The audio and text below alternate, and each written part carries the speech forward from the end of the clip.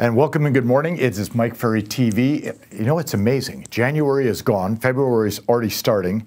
We know that in many, many cases, January was a very challenging month for a lot of our clients, and I'm sure a lot of you, because with the weather that we had across most of North America, the interesting political unrest that we've all had to view and experience, and the fact that it was a new year. So a lot of people got off to a little bit slower start than necessary. However, now is the time to start. In January, we had our three day annual production retreat. We had 2,284 people in the room, which was exciting because the room was uh, not capable of handling that many people. It was pretty packed. What we did on day one, and I want to share with you what we did on day one over the next several weeks. So I want you to make a big note. Watch Mike Ferry TV for the next three or four weeks. I went through a series of thoughts. I, I, what I did is I, I, I'm, I'm kind of a crazy fanatic on talking to people that are really good and really successful. So what I did is, over the course of a period of time, I interviewed and chatted with, I think probably about 75 or 80, it might have been 90, top producing agents that are doing 100 plus transactions a year. And of course, I'm always trying to figure out what do they do, what do they say, how do they think, how do they operate, because my belief is if somebody else is doing an extraordinary amount of business, that means that you and I can do the same. Hardest part about real estate is developing the belief that you can accomplish great things within your business. Most people don't have the belief.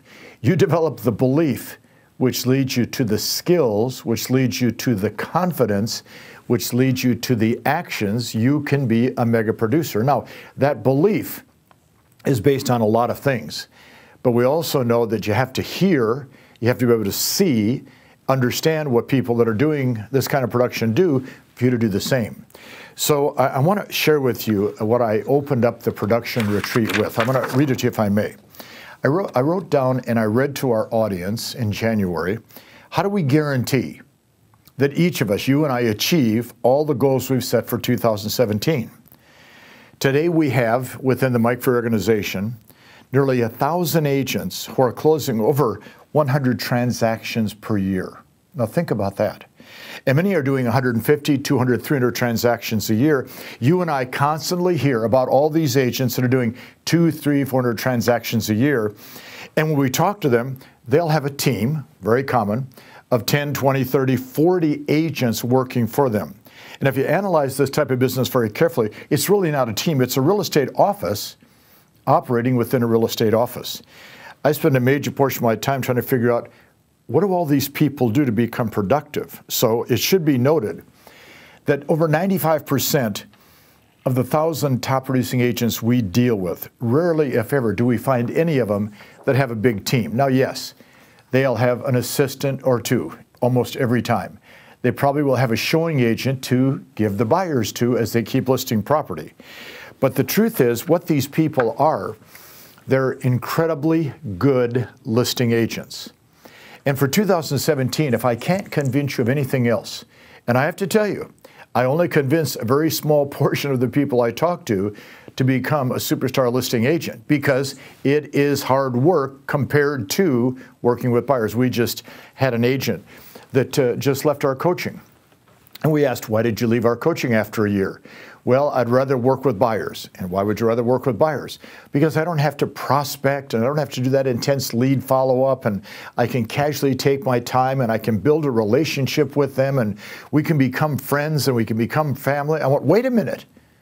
You're going to do what, 5, 10, 12, 15 deals a year max with that behavior pattern? Well, I can do 10 or 12 deals a year.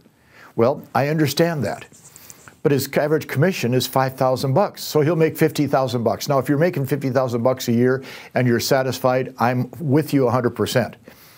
But if you want to make $500,000 a year instead of 50,000, you're going to have to become a strong listing agent. So how do they do it? So what we're going to look at over the next several weeks is a series of thoughts that I've virtually pulled out of all these top producers on how they do the extraordinary business they do. So I'm going to go through them with you one at a time.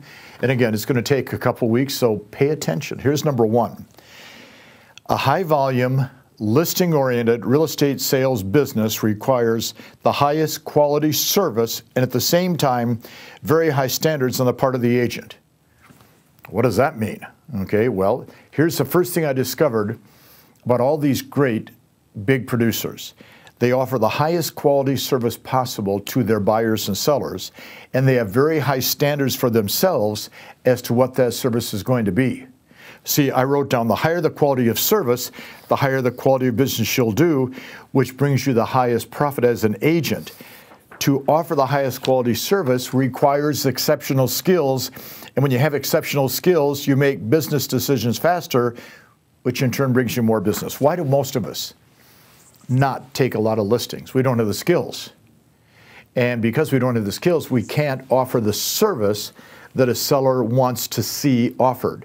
If we can't offer good quality service to a seller, they're going to overprice the property. They're going to ask you to cut the commission. They're going to give you a short listing. See, all the problems the listing agents deal with come as a result of a lack of quality service being extended.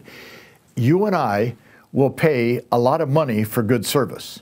You and I will gladly participate with a company, an organization, a salesperson that is going to offer us good service. And the higher that service, the more respect we have for them. You and I have to refine the service we offer to a seller. We refine the service by really working on our skills. The skills give us the confidence to go in and make the presentation. But look what I wrote down then. I said, now, you offer great skills, which helps you make decisions faster, which brings you more business. Now, what do I mean by that? Well, I, I, talk to agents all the time. Are you going to become a good listing agent? Yeah, I'm, I'm working on it. Good. When are you going to start? well, Mike, you have to understand. I've got three buyers, and I've been working with them for about a month, and they're all going to buy, and I, I hope to wrap them up in the next four to six weeks. Okay, good. Can you start working on your listings in the meantime? Yeah, but you know, I, I don't want to interrupt this flow I have with the buyers. Or in essence, they're getting ready to get going, to begin, to get moving, to do something maybe tomorrow if they have the time. And we hear this all the time. So the first thing I discovered about all these 100 plus producers, and there's a lot of them out there we work with, high quality service, they offer the best service. Now, let me ask you a question. If you're going to spend your hard earned money on any product, any service, anywhere, do you expect good service? Of course you do. You and your wife, you and your husband go to a nice restaurant, and you're going to pay a lot of money, you expect good service every single time. Watch, you decide to purchase a car, you expect good service. You decide to buy a new pair of shoes, you expect good service. Well, that's what your sellers expect. So, first, high quality service. Are you giving that? Second, your standards as an agent have to be high to offer high quality service. And the standards, which are those things that you absolutely do, cannot take place unless you have good skills. And as your skills improve, your confidence goes up and you make decisions faster. All right, now watch point number two from these top producers. To, main, to maintain high levels of productivity, we have to learn to initiate changes in our business and stop reacting emotionally to the changes to take place in our business. What do I mean by that? Okay, now think about it. We have to learn to initiate change. Are there any changes you should be making in 2017 in your business to produce at a higher level? For example, moving from, say, 30% listings and 70% buyers to 50% listings and 50% buyers. That's a change. All right, a change to say, I'm going to now start pre qualifying every buyer and seller, no exceptions. So therefore, I have to learn and use the scripts for pre-qualifying buyers and sellers. That's a change. Maybe you're wasting a tremendous amount of time. Okay, so changing would be developing a schedule and following it. Are there any changes you have to initiate? The answer is yes in almost every case. And then when you make those changes, you have to learn not to react emotionally to the responses you're going to get. If you stood up in your company sales meeting and said, I'm going to follow Mike Ferry for the next five years and I'm going to become a great listing agent, people will actually get mad at you. Isn't that amazing? You know, why are you doing that? What are you going to follow him for? What does he know? You know, he'll make you a cold call. You know, all the normal baloney that people say all the time. Well, you have to learn to accept the emotional response of people. You become a strong listing agent, sellers aren't always going to agree with you.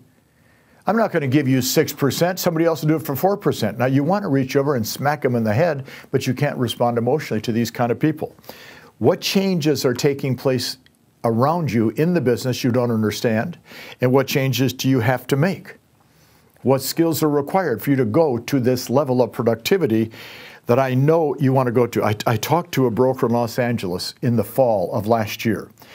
And I was talking about maybe instituting some of the things we do within his company. And the guy actually, listen to this quote, I openly and proudly operate my business the same way I did in 1985. Let's see, 95, 2005, 2015. So he's proud about the fact that he's been stuck for 32 years at the same level of operation. Okay? Number three is a tough one, and it's one that we spent a lot of time on on the production retreat. To achieve the goals you've set for 2017, we can never allow ourselves to be mentally in a position where we desperately need a listing or a sale. Because the moment that client recognizes you need the deal, the transaction changes to a point of desperation. You move from being a professional salesperson to an agent that'll do anything to get a listing or make a sale. Desperation is the downfall of all success. We can't be attached to the outcome. Now, I bet there are some people in real estate today, and maybe at times for yourself, where you really need that sale, you need that listing, you need that commission. That's understandable. That's called human nature you know, the rent's coming up and the mortgage payment's due and the car payment and you got to pay your kids' tuition and you need to make a deal. Well, I understand the need to do a deal. We, we've all been there. However, when that shows to a seller, when it shows to a buyer, guess what? They take control. The fastest way to lose control of a transaction. Now, do you want the doctor to lose control during a procedure on you? Do you want the pilot to lose control of flying the plane? Of course not. The seller, the buyer, wants you to be in control. They're paying you to be in control. Well, if you're desperate and they recognize that they take control, you know, I'll do whatever it takes to get the listing. Soon as that kind of a thought process, okay, permeates your mind, you lose. They're going to change your commission. They're going to overprice the property. They're going to demand an open house. You better start advertising. So if you understand that even if you do need a transaction so bad you can't stand it, you can't allow that type of process to ever enter into this conversation. And number four, great salespeople are always looking within the community as to how other successful business people operate their day to day business, whether it be studying a real estate agent or studying a good business person. Why? Real estate is a business. Real estate is a sales business. You're a salesperson, you're a business person. There are business people in your town, neighbors, friends, relatives. Look at the ones that are look at those that are successful and see what they do, see what they say, see how they operate, see if there's anything they're doing that you could be doing. Because see, I believe that anybody that is good in any business, any sales profession, they're all doing basically the same things. Now we may not want to hear what they're doing, but they're all doing the same thing. Do you think they're prospecting? Of course. Managing their time? Are they following up on the prospects and customers? Do they always pre qualify to make sure the person they're talking to has the need or the desire to use their service? Are they very forceful and strong in their presentation skills? Do they understand the buyers and sellers are going to say certain things back, which called an objection? Do they have the courage to get a contract signed? Can they negotiate between the two parties? Can they do the administrative follow up? See, it doesn't matter what the business is, if you're selling life insurance or cars, if you're selling clothes. The guy that I bought my clothes from is great at all these different steps. Are you as good as you should be? Study the people that do it best, or here's a thought go to more Mike Ferry events, because we have them all the time, all over North America there's always going to be a big group of successful Mike Ferry clients there. Talk to them, take them to lunch, have breakfast with them, question them, learn what other great people do, and you can do the same. So, we're going to do this for the next several weeks. We're going to go through a long series of thoughts of those people that I study that are doing 100 plus transactions a year. You may never want to be there yourself, and I'm okay with that. But you might as well solidify your position you might as well strengthen your exact steps to take to get to your goal, and you might as well work to get that goal that you've set, and we're behind you 100%. Talk to you next week.